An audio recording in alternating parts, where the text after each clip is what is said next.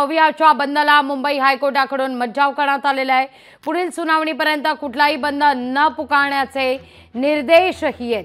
राजकीय बंद झाल्यास सरकारला कारवाईचे अधिकार सुद्धा आहेत. बंद मागे घेतल्यानंतर मवियाकडून राज्यभर मुका आंदोलन सुद्धा केलं जाणार आहे.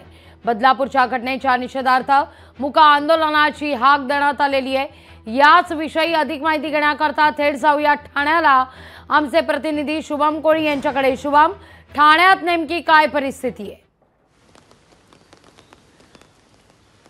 निश्चित लागवी आपण पाहिलं तर महाविकास आघाडीने जे आहे ते बंदची हाक पुकारल्यानंतर ठाणे शहर जो आहे तो मुख्यमंत्री एकनाथ शिंदे यांचा बाले किल्ला जो आहे तो समजला जातो. परंतु हे शहर बंद होणार का महाविकास आघाडीकडून? असा एकंदरीत प्रश्नचिन्ह जे आहे ते निर्माण होत होतं. म्हणूनच आज जे आहे ते ठाणे शहरामध्ये थेट नाना पटोले जे काँग्रेसचे नेते आहेत ते दाखल होणार आहेत. त्याचबरोबर उद्धव ठाकरे देखील आज जे आहेत ते शहरामध्ये येणार असल्याच्या चर्चा ज्या आहेत त्या एकंदरीत सुरू होत्या.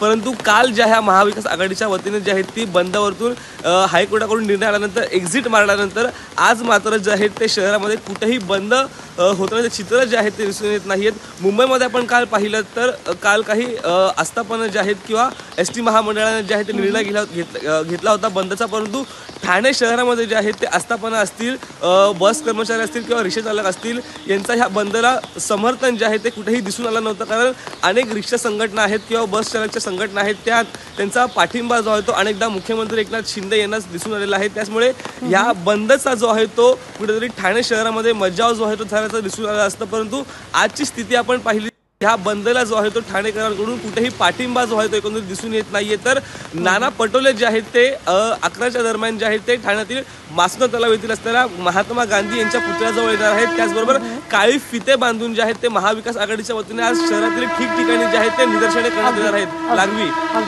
शुभम तुर्तास धन्यवाद. तुम्ही दिलेल्या सविस्तर माहिती करता. तुमच्याकडून अपडेट घेतच राहू. लोकशाही मराठी. ऐका पहा. जागरूक रहा।